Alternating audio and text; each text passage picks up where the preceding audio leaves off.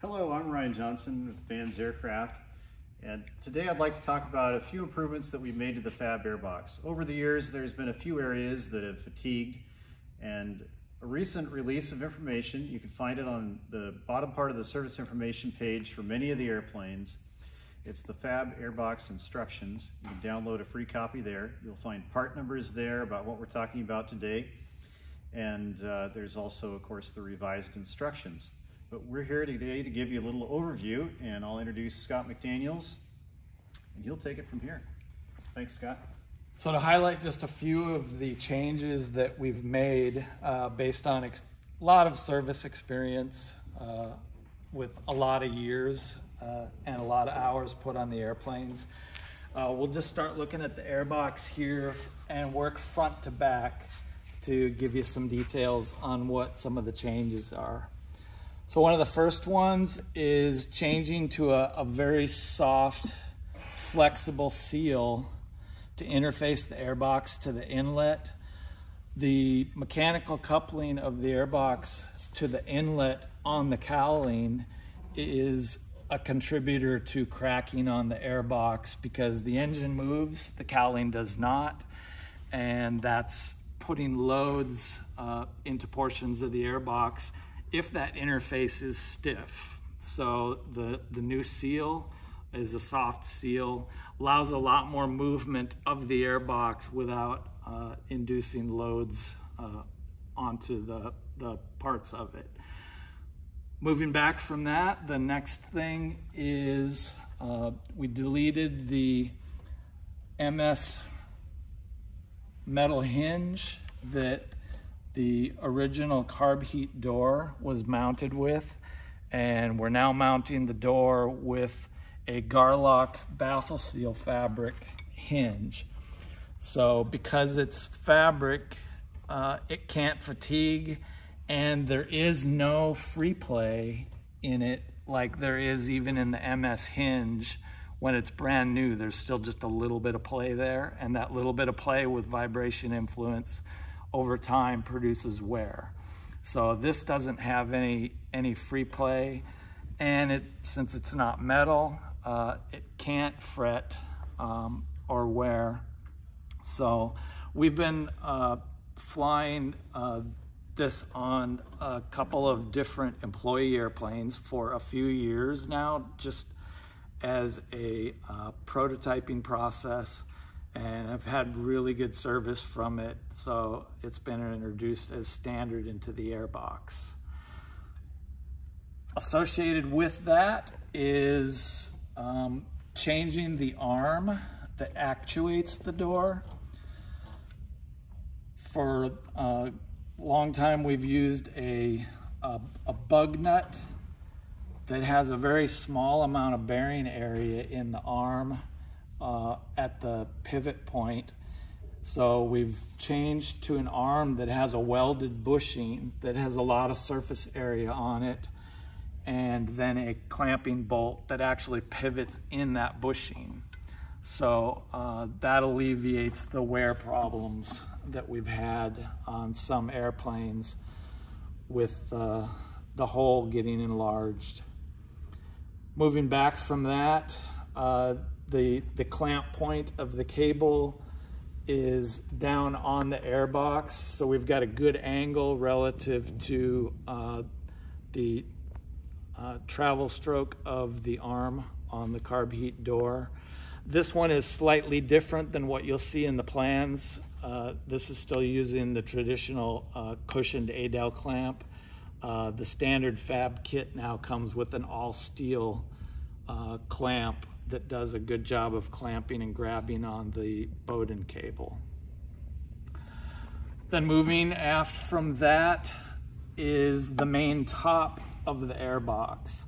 And that's one of the changes uh, that uh, will be really popular for a lot of builders, I think, that have experienced an interference with this left-hand side corner of the airbox over here with uh, the interior of the cowl uh, in, in the induction scoop area. Because of our design of the engine mount, offsetting the engine slightly to the left so that uh, we've got right hand thrust on the, the engine and prop combination with the spinner still in the center so that the airplane looks symmetrical. That pushes the aft end of the engine towards the left side of the airplane. And that makes the carburetor offset to the left of the scoop and the cowling. And by design, the carburetor is slightly off to the left anyway, so then we're making it even worse by going that direction with the offset of the engine. So we've introduced a top plate that has an offset designed into it. And if Greg even wants to come this way a little bit, looking from the front, you might be able to see it better. Uh, that the carburetor is a lot closer to this side of the airbox than the right-hand side of the airbox. So the opening that's in the top plate is actually offset from the center, biasing the entire airbox over to the right. So providing more clearance, particularly down here in this lower corner uh, where it got really close on some cowl installations. All the details for that are also in the, the new Fab Airbox instructions. So moving aft from there, we have details that have been added for an interference that's always existed on some of the A model airplanes. You can see that the nose gear leg is passing through the profile of the airbox just very slightly.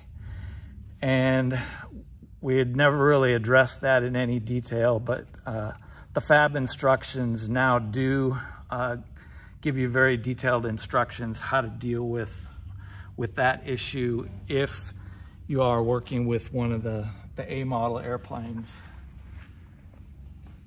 Lastly is details of drain holes in the bottom of the airbox. I'm not sure that this one has them both, but uh, the fab instructions detail uh, a drain hole just forward of the aft end of the filter and then one at the very far aft end of the airbox so that even on a tail dragger or some of the airplanes that sit more tail low than, than this one, which is a 7A, um, water pooling there from uh, you know, entering the inlet during washing the airplane or, or flight in rain conditions, that type of thing. Uh, there's a place for that to drain out. That's it for the, the main changes.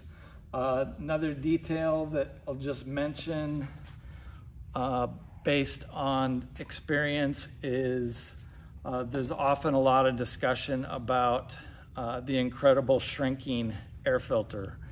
We do know that they do shrink. Uh, K&N produces these primor primarily for an automotive use. The air boxes that they're installed in in an automotive or other ground vehicle situations, usually the air filter is captured uh, by some uh, physical means in the airbox that helps hold its uh, dimension our design in keeping a really clean airbox for airflow and trying to maximize uh, the benefit of uh, the best manifold pressure that we can get. Uh, we don't do that. We're just clamping between the top and the bottom of the airbox. And from the influence of fuel, age, other things that we probably even aren't aware of, they do shrink and you can't consider them to be good for use forever. Uh, it's a replace, you know, on inspection and condition. Um, so if if it's starting to look like it's not fitting your current airbox, you know, very well, then it's time to get a new one and replace it. Another point we want to highlight is the importance of the gap between the extension, and I'm using my finger to just visualize the extension that we've molded onto the inlet of the cowl that the seal interfaces with. It's important that there be a generous gap between the forward edge of the fab airbox and the aft edge of that extension.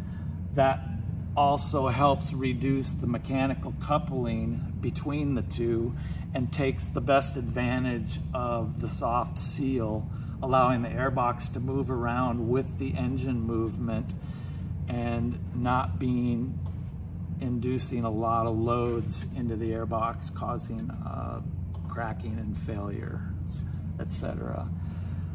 There's also some important detail in the fab instructions that is missed by a lot of builders of how important it is that that extension come far enough aft as described in the instructions to avoid having a lot of difficulty in installing and removing the cowl. If you don't do that, the airbox ends up extending too far forward and is, is somewhat captured in that space. And there's a lot of interferences uh, when the cowl is, is being put on and off. For the mounting of the top plate to the carburetor or throttle body or fuel injection servo, depending on the situation for your particular installation, is now referencing large area washers, which obviously we can't see here, but they're below each of the four attachment points on the four corners uh, of the carburetor or whatever you have uh, installed on your engine. So an AN uh, 970 large area washer to distribute uh, whatever uh, bending load there is induced by vibration and try and avoid cracking uh, right at the edge of the holes in the top plate. Uh, that's been found to uh, greatly help the longevity of the top plates. Thanks everyone for watching. Uh, we hope you go check out the instructions. These are definitely improvements you want to make. Uh, this is my airplane here and I've had about 740 trouble-free hours uh, so far and in your aircraft, how many are you up to now? Uh, about 300 with, 300. With, with the new design. So a Yeah. thousand hours cumulative of great performance. Go check out those instructions and have a good one. Yeah, we Fly hope, safe. I hope you find this helpful.